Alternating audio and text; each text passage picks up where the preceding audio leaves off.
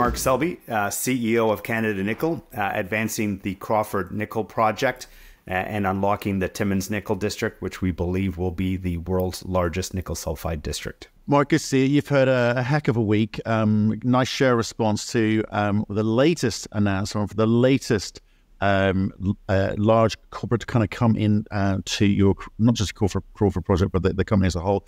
Um, tell us about the Samsung deal. What's involved? Yeah, so um, it's been a great start to the year. Yeah, two deals. Uh, the last one being Samsung. A uh, couple things. One, uh, they're they're uh, taking uh, about eight percent interest in the company, which puts another twenty five million dollars cash in the till. And most importantly, you know they've got the uh, option to buy ten percent of the Crawford project at a valuation of a billion dollars US. So you know that's about uh, about seven dollars a share. Uh, you know, given our current share count, which is a little higher than where our current share price is. Right. So, okay, that was that. Then we had, and I'm going to come back to that, okay, because something yeah. really, really important to understand then in terms of the validation of the project and endorsement of the project yeah. by an Asian corporate. Okay. Um, the Agnico Eagle also recently came in for a big chunk of change uh, just before Christmas. So they're the largest mining company in Canada. Uh, they did a back end of a flow through deal, which puts uh, $35 million uh, for us to go exploring and unlock uh, the Timmins, uh, you know, the other half a dozen Crawfords that we think we have or more uh, in, in the Timmins nickel, nickel district. They're Canada's largest mining company. They run two big lower grade open pit gold mines that are the same scale that we have with Crawford. So uh, it's a massive endorsement, uh, you know, for us, and we're really glad to be, you know, chance to be working with both companies. Right and then obviously we've we also had um, Anglo American in there for some time as well. So not one, not two, but three big corporates in there.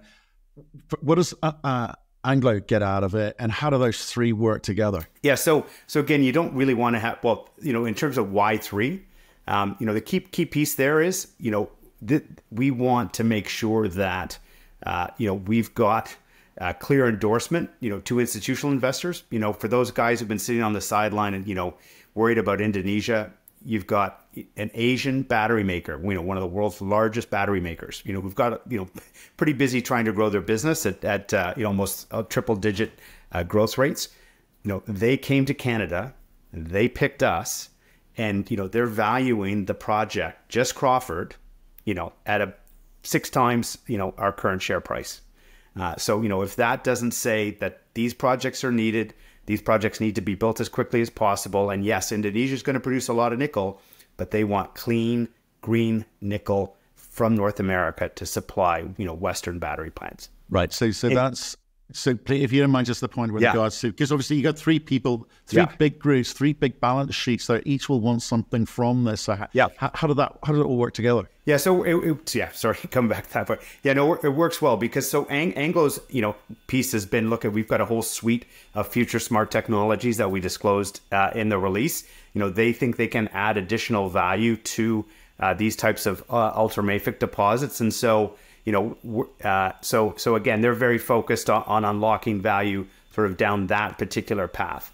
In, in terms of you know Agnico Eagle, you know they basically uh, provided funding for a giant uh, giant flow through raise, which has to be used on exploration type dollars. So you know what they're really interested you know in seeing you know based on that financing is really you know seeing sort of you know how much of this nickel resource do we really have six Crawfords there? You know, and can we, you know, multiply the scale of the resource that we already have, and you know, really prove out that we are sitting on the world's largest nickel district?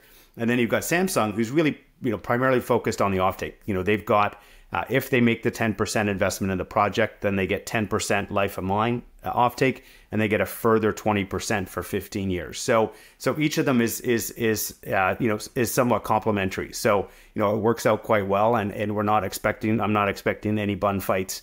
You know, between between each of those groups in terms of how we move things forward. Right. Okay. And I, I guess I'm kind of so there's so much to talk about here because I, I you've done a lot in a very short period of time, and you brought some big names. You know, like I say, it's the endorsement factor that kind of uh, appeals to me. These are what like like even if we're talking about Agnico, they do large, low grade pit projects. There's there's something in it for them, and I guess it kind of in terms of their portfolio, it balances their their portfolio and the, and the weighting of that portfolio.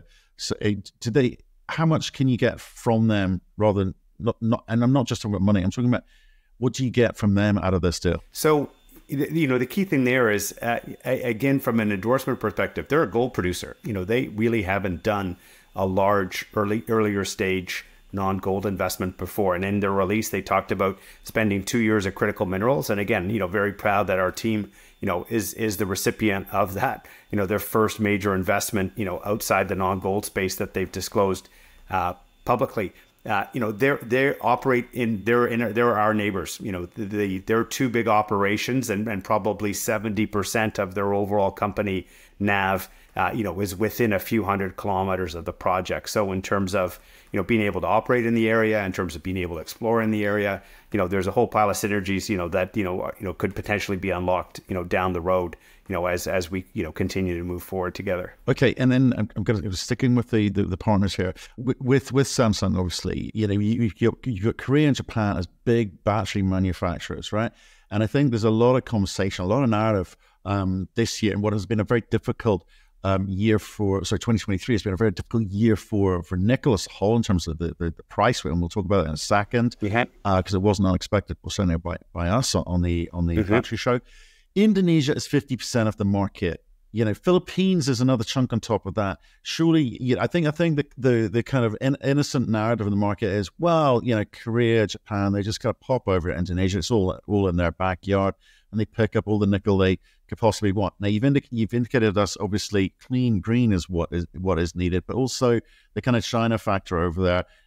Japan Korea are not immune to that. So coming to Canada I guess makes sense. Oh no, hundred percent. You know, again, for those people who've been listening to to the battery show, you know, the themes that we've been banging on on, you know, nickel Philippines control more of the market than OPEC did. You know, at the peak of the market, people poured a lot of money in the 1970s into developing oil reserves. You know, outside of the Middle East uh, because you know it had some pretty significant geopolitical consequences. You know, it's the same thing here. You know, if you really believe that North, you know, all of the global automakers and all of the you know the big global nickel consumers who make things pretty critical things with stainless steel and even more critical things and and big defense things with nickel alloys are somehow just going to depend on Chinese control supply from Indonesia. You know that's a you know a very very very you know naive uh, theme. You know, the, the other piece that we've been banging on about is that, you know, again, you know, that Indonesian uh, nickel comes with a pretty high environmental footprint, both in terms of CO2.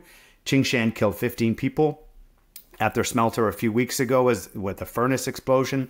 You know, you know, there, there there's a, a, massive number of reputational risks, you know, around that supply. And, and again, people want local supply and in North America because just with the battery plants that we have, you know, we're looking at nickel demand of three, 400,000 tons, you know, in less than a decade from now. And that's almost triple, you know, where we are today. And there's almost no visibility, you know, on that, on, on that material. And again, why would a battery company, a Korean battery company, go to the trouble of building a plant, you know, in North America if it was only going to end up being fed by raw material coming from you know China or Indonesia anyways. You know it'd be far smarter to just you know build an even bigger plant in in China and Korea. So again I'm you know really hoping that this you know Samsung investment you know really wakes people up to the you know fact that you know just just you know yes Indonesia is going to produce a lot of nickel but we need everything Indonesia can produce and oh by the way you know there are a lot of serious you know we're in 20 plus conversations you know you know across the value chain and across different industries in terms of people who want access to you know local Western clean supply. Right. Okay. So, and I think the other factors, maybe um, just just kind of ram home here, is, is is the Chinese influence there on the Indonesia Philippines in terms of you know where the bulk of that production is going to go because they've funded it, they want it, um, and that means that even the likes of Korea, even the likes of Japan, um, perhaps can't sort of tap into that. Um, so I think I think I think that's something that was sort of come out of the battery show um, time and time and time again over the past sort of three four years that we've been we've been doing that. Um, can we can we just kind of um, now focus on the cash? Mm-hmm. You got a bunch of cash. Now, there's yeah. two things going on here. You've been saying this is a district wide play. And when most juniors say that, I kind of roll my eyes and go, okay, sure. It's a liability because you've got to finance this thing. You've now got a bunch of cash to, I guess, obviously get things nailed down with Crawford, but all of the other projects too. I, I suspect. So how how do you allocate that cash? How are you viewing the opportunity in front of you? Yeah, so I you know I think the key thing here, you know, we did Crawford. Um, with raising six million dollars uh, and and and put out the first res- resource in less than six months. Um, you know that's before we figured it out as much as we know uh, know now. So you know you're going to see we're going to work our way through. We're going to drill off the, the the some of the 20 properties that we haven't tested yet. You know, but we already have a handful of of, of, of projects that are larger than Crawford, and so you know as the year goes on, you will see you know uh, you know pretty big. Uh, drilling results, and then you know as we get into the second half of the year, you know a whole series of resource updates. And so, you know, you know, Crawford now in total across all categories is, you know, is close to 10 million tons. Uh, and, you know, the first resource for Crawford was a few million tons. So, you know, we'll provide more detail in, in, in a few weeks as we sort of map out exactly all the drilling we're, we're going to do. But, you know, you're going to see, you know, you know, a multiple increase in terms of the resource footprint that we have, you know, versus where we are today. And if we're able to accomplish that, you know, that would make us the world's largest nickel sulfide district. Okay, so project number one, Crawford, advance ra- rapidly through the phases. Yeah. You've got a handful or so um, new, bigger projects which you will start to, you know, um, release, you know, details on as, as the as the drilling happens, etc. Is that going to be easier for you now you've kind of proved up case study number one? Oh, 100%. You know, the, the, the thing to remember, right? We've gone from fifth drill hole to you know feasibility study halfway through permitting on Crawford, you know, in just over four years. Everything that we've done for Crawford, because these projects, you know, share a significant amount of geological similarity, you know, it'll be an almost cut paste exercise in terms of all the subsequent work plans, in terms of mineralogy, in terms of metallurgy, in terms of, you know, early stage permitting, and so on and so forth. So, um, you know, you know, this will allow us to build a pipeline, you know, of of, of significant uh, nickel deposits. And again, with Crawford at 50,000 tons, if we're able to prove up another four to five, six projects or more over the next few years, you know, you're looking at, you know, a potential, uh, you know, throughput for the district of, you know, 200, 250, 300,000 tons of nickel. Okay. I guess what I'm getting to is because I want to make some money here. Yeah. Um, it's been a really difficult two years in yep. in equities, probably well three years in equities, but de- definitely for, for you in the last couple of, couple of years. Nickel's been going through a, a sort of a, a, tough time, you know, with a, with a few sort of spikes here and there, but caused by market factors. But why is nickel going to recover? Why are we not going to see a sort of glut of nickel um, in the world, uh, and why is that not going to continue to dampen the spirits of nickel produce or um, explorers? No, so you know, part of the reason we were keen to get both of these deals done because we really see 2024. You know, again, every year we've moved the ball quite a bit, but this is really going to be a fundamental, know, unlocking of, of value this year.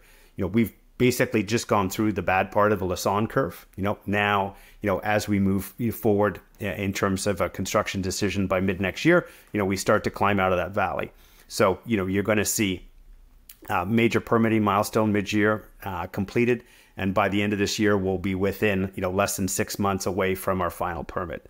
Uh, we expect to have our full financing package uh, for the project in place uh, before year end. And again, having three endorsements from major players is is going to be super helpful with the government. And again, a big focus this year is to try and get as much government zero cost or very low cost government funding in place. And so you know, you know that you know is, is going to be a major value creation milestone, and, and, and we're going to be pushing hard on that. I was in in, Ottawa, which is the where the federal government uh, resides here in Canada, uh, on Friday to start those uh, uh discussions, uh, and then you know in terms of you know getting the engineering ready, you know we're, we're, with the money from Samsung, you know we're going to be able to push that along so that when we get that permit in 2025, we're ready to put that shovel in the ground. You know, and and again we're several years ahead Uh, of our nearest competitor in, able, in being able to, to drive production. So, you know, and then on the nickel side, you know, as, as you said, you know, for most of last year, we're calling for a sell off in nickel. It took a little longer to get there. We've gone through it.